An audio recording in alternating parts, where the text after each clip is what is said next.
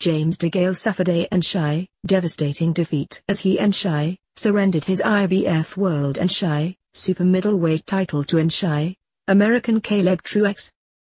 The man from Minnesota wasn't supposed to present any real and Shy, challenge for the 31-year-old and Shy, Londoner in his hometown.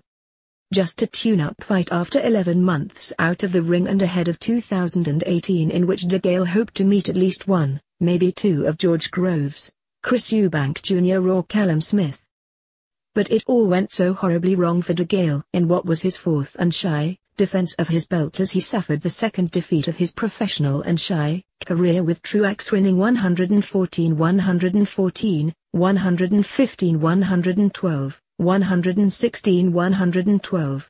DeGale had looked in good nick when he climbed into the ring, and let Truax know he meant business with three short, sharp lefts midway through the first round. And it was clear he wanted put on a show. But Truax settled and served notice that the Brit wasn't going to have it all his own way. By the end of the fourth round, he was ahead by one round, arguably two.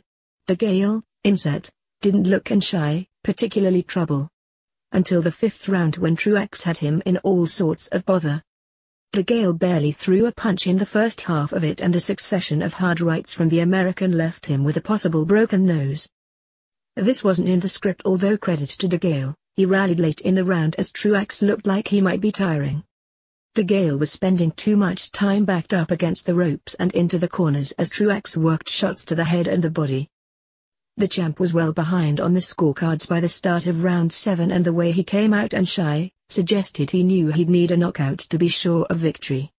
The problem was, there wasn't enough power in the shots he was throwing and it was easy to wonder if he had suffered a recurrence of the shoulder problem.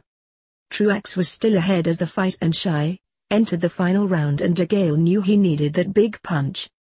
But it didn't come and he must now pick up the pieces of his career. DeGale said, I will go back to the drawing board. I thought I won it. I have to go back and sort it out. I rushed back from the surgery and maybe I should have waited till next year. But credit to him. On the undercard, Lee Selby and Shy, retained his IBF featherweight title with a convincing points victory over Eduardo Ramirez. The Mexican, who couldn't win the belt after failing to make the weight, had a miserable visit to London compounded by the judges giving him a unanimous loss. Selby will now face mandatory challenger Josh Warrington in Leeds in spring. Anthony Yarde clinched the European light heavyweight title with the 13th knockout of his 14-fight professional career. The hard-hitting 26-year-old put Montenegro Nicolas Sjekloca, who had never been stopped in 37 previous fights, down in round 2 and again in round 4 before referee Steve Gray stopped the contest. Heavyweight prospect Daniel Dubois beat Dorian Darch with a second-round TKO to win his sixth successive fight.